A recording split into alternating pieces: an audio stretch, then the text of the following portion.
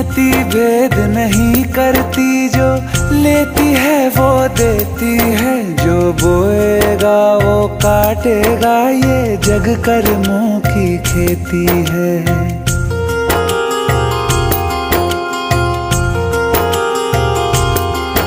यदि कर्म तेरे पावन है, सभी डूबेगी, नहीं तेरी नाव कभी। तेरी बाह पकड़ने को वो भेस बदल के आएगा। पता नहीं किस रूप में आकर नारायण